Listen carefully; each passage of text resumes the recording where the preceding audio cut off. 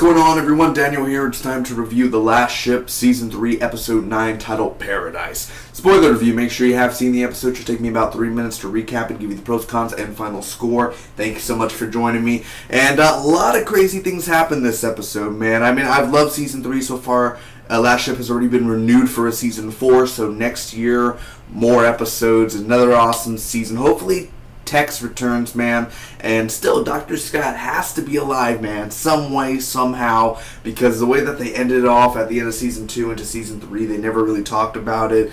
You know, they honored Dr. Scott, but is she really dead? I, I don't think so. There has to. They didn't even show like picking up right exactly at the moment where she got shot. So either way, I've really been enjoying this season with Takehaya and uh, you know a bunch of different things. So many, so many, some little arcs have been going on from uh, you know president to a new president to just so much crazy things going on. So this episode definitely brought me like that love. Like this is why I love the last ship. The way that they did the action, the way that it felt intense, and you actually felt like there was a threat in this episode. So that's what I really liked uh, the most. It gave you that little rush in there, man, which I like that little uh, adrenaline adrenaline rush uh, when I watch TV shows. I don't like to sit there and be bored. I actually like to have something and like, oh shit, like our crew's not gonna make it, sort of thing. So anyway and a lot of great directing in here, man. A lot of cool shots where I was like, that's an amazing shot, man. Like, just make a, a screenshot of it. Looks pretty perfect for a desktop.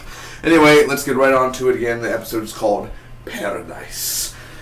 First off, they show like about four months ago, I think it was four months ago or four weeks ago, um, I don't know. It doesn't matter anyway. So these people are making the green mist and they're putting it in the missile and everything. So that's how it's being made. They ship it off to Vietnam, and that's where everyone who is waiting to get the cure, and this is before the cure arrives, the green mist infects them, and thus when they get the cure for the virus, it doesn't work.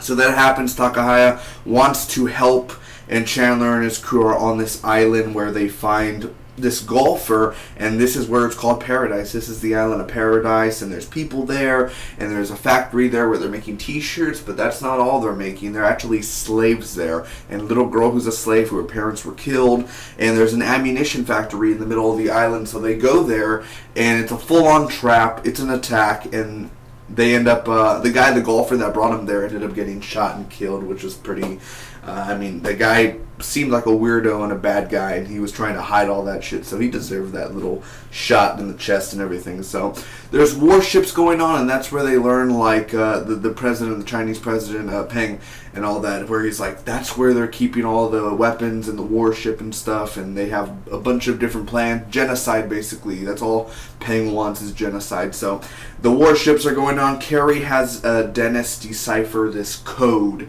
and this code basically has the locations of all the places where Chandler and his crew were basically trapped in by, you know, the military of the Chinese. So that happens. The Nathan James and two other ships are in the water and they're looking for these warships. They're looking for Peng and where he's hiding.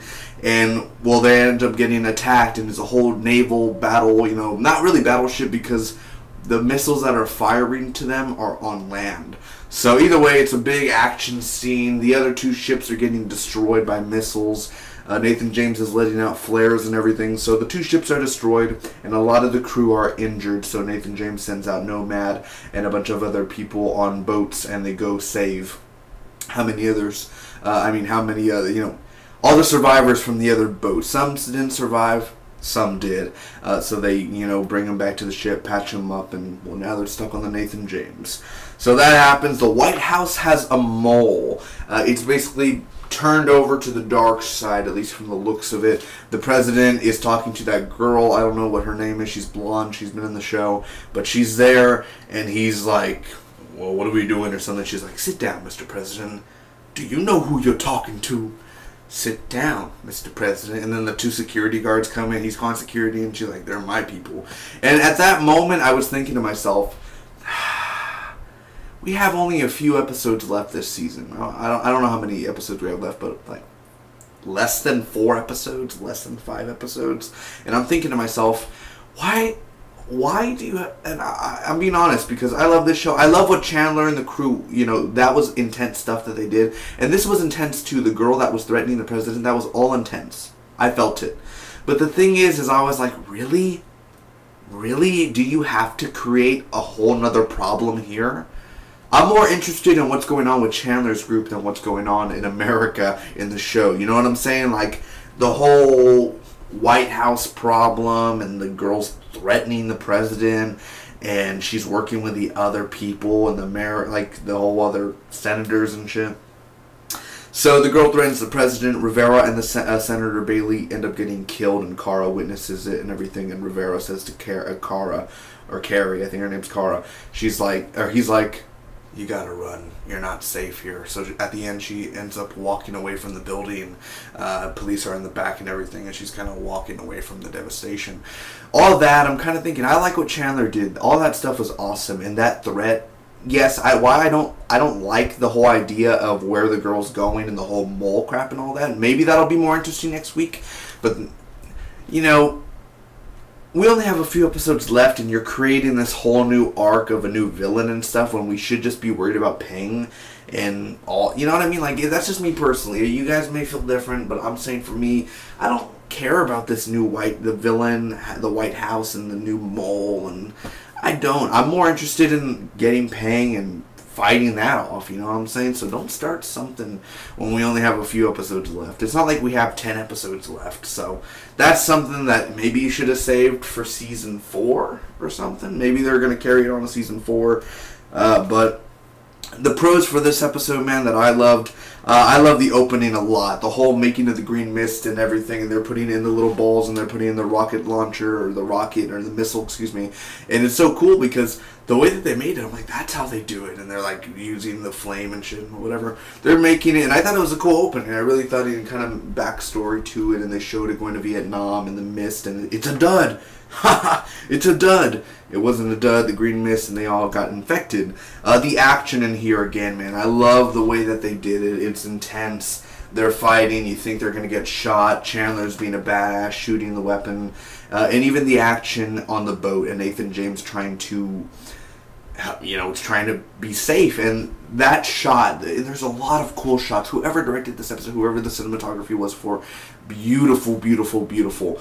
The whole when Chandler and like the Nathan James, the glass broke and they got pushed back. That was just perfect. There are so many cool shots in this episode, and you actually felt like the Nathan James was under attack for real. It was it it you know Chandler could have got really badly hurt. They're bleeding. Everyone on the top is bleeding. It was intense. You felt that threat happening. The effects there too, even the blowing up. Yes, it did look a lot of CGI. Looked kind of like eh, but for the effects for the show was really good for the uh, bombings. Uh, Rivera de- uh, being dead, I thought that's something that's awesome because he was annoying as hell. So I'm glad he's dead. Uh, and also saving the people, them being heroes, obviously helping out the others. I'm glad that they showed that uh, which was really cool to see. Cool shots of the directing, and as well as how intense and the threat was, and all that stuff too.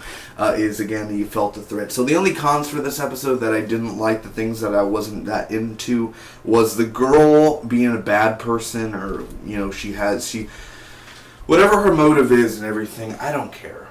I don't. I could give less of a shit for her. I don't think she's a cool character. I think she's dumb. I don't care for what her plan is honestly, like this whole thing that they're doing, I don't care. I don't. Uh, what happened to the town? Yeah, that's the thing. That's what I wrote down. I was like, what happened to that town? The one that Chandler, the Paradise. What happened to it? What happened to the slaves? Did you help them afterwards? Did, what's going to happen to them? Uh, little things. I mean, I'm not taking points off of that, but I'm saying, what? Ha- don't you want to know what happened to Paradise after that? I mean, are they let free? Are they let go? Are they let on the Nathan James? Are they gonna, you know what I mean? Like, what's happening? What what what happens to them? Uh, as well as this whole new villain idea. I don't care for, like I said, I don't like it. Um, I could care less about the White House scenes for one thing because all of a sudden Kara has a girl, uh, I mean a guy to decipher stuff, and all of a sudden like it's like 24. It's like going to Jack Bauer and then it's going back to the CTU, but yet the CTU so boring. You know what I mean? Like a lot of the scenes are very boring unless it's like Chloe being like, "Oh my God, like something's happening, Jack. What's going on, Chloe?" You know, like something big. But usually the office scenes are just boring. I don't care. And I know it's all part of the story. It's apocalyptic and everything, and it's post-apocalyptic world, all that crap. I mean, I liked Kara in the scenes that she was in and everything. I'm glad that she made it out alive, and that you know she's a badass. I loved her in season one, season two. But maybe it's time to stop working for the White House and just go home and be with your baby. I, I'm being like, you know what I mean? Like, just get out of the job and go be with your baby, and that's it. You know. Uh, we need maybe she needs to call Tex. That's what she should do. She needs to call Tex, and then maybe he's with Doctor Scott in the secret area. How cool would that be? A lot of cool things could go on, man. Uh, but overall, I'm gonna give this episode of The Last Ship a B plus. You know, I thought it was a really good episode. All the stuff with Chandler was fun. The way it was directed, the shots of it, the action, the effects. It was awesome working as a team, obviously, as they do best. Wolf kicking ass uh, Dan- uh, Danny kicking ass. Just everything was cool for that. And it was intense with the girl making the threat, but then again, this whole new, you know, you must join us or whatever, and you know, like shut up. Like you think you're on a high power and everything. You're not. You're, you know what I mean? Like don't do this. Don't. I'm honestly, I that's the only thing I hated about this episode the most. Like, oh, why do you have to do that? It would have been an A. It would have been a solid A. You know, maybe A minus but uh, B plus. So comment down below. I want to know your thoughts on the last ship. What, do you agree? Do you disagree? Do you like the idea of this new villain, or do you even like the White House scenes? Uh, I'd like to hear your thoughts on that too, or maybe not the White House, but the the president's scenes and all that. I think some of them are interesting like some of the things were interesting, but Rivera and him sneaking, he's sneaking on Kara and everything. What would it matter? He died at the end of the episode, so all that build up and everything was for nothing because he died at the end of the episode. Wasted time. You're wasting my time. You know what I'm saying? So uh, just little stuff like that. But overall, that was a really good episode. Could have been great, but all of Chandler's stuff was fun to watch. Next week even looks awesome. It looks even way more better because Chandler's getting arrested, and he's like, no, you're not a higher state of power and everything. I thought that was really cool. So, uh, if you enjoyed the review, guys, make sure to leave the like button, hit the like button. I really would appreciate it. Excuse me, it is six in the morning, man. Uh, yeah, so excuse me for that. Uh, comment down below, share with your friends. Until next time, I'll see you next week for more The Last Ship. Bye bye.